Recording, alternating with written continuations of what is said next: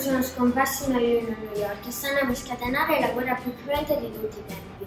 Qualcuno ha rubato la follia di Zeus e persi dello scendere negli inferi. Questo libro racconta la vita di un ragazzo a prima vista normale, ma che poi diventa tutt'altro. Immaginate se la vostra prof di matematica si interesse contro di voi, immaginate se vi dicessero che siete figli di un greco ci credereste, questo è proprio quello che accade al nostro preside. Questo libro lo consiglio alle persone che hanno spirito di iniziativa, a chi non ha paura di nulla, a chi è molto coraggioso e, e chi non si leva mai dal proprio obiettivo.